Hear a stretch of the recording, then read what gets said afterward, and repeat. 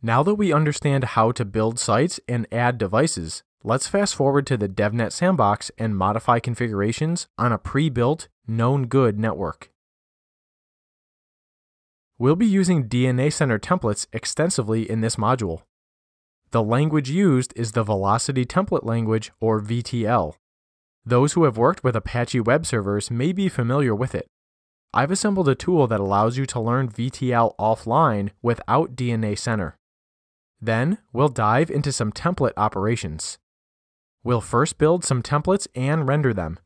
This basically means we'll add them in DNA Center and run a test simulation.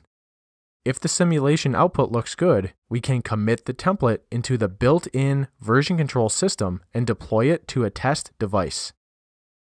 Okay, so you know what VTL stands for. What does it do?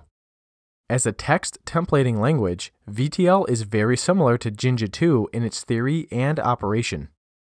The user or calling program provides some variables, renders a template, then displays or otherwise processes the resulting text. Jinja 2 has tight integration with Python and apps written in Python, such as Ansible and Nornir. VTL, in addition to being consumed mostly on Apache web servers, integrates nicely with Java. Don't worry, I won't make you write any Java code in this course. Like any good templating language, VTL supports basic programming constructs like if statements, for loops, and comments. We'll keep things simple in this course, but let's take a look at VTL code next. Here's a simple example. First, I'm showing some variables arranged in YAML format just for display purposes. This relatively complex structure is a nested dictionary whereby the subcomponents have values that are booleans, lists, and strings.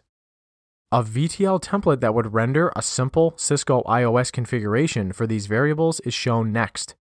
Comments in VTL begin with two hash marks.